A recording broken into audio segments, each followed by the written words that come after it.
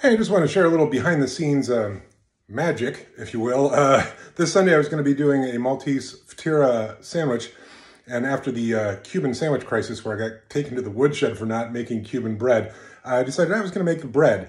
And I followed a recipe online for the Ftira bread, and um, this is what I baked, only to find out that the bread is supposed to be flat, uh, round, with a hole in the middle and crunchy on the outside. So we're going to save that for another time, but I just thought I'd share that not everything's perfect in sandwich land.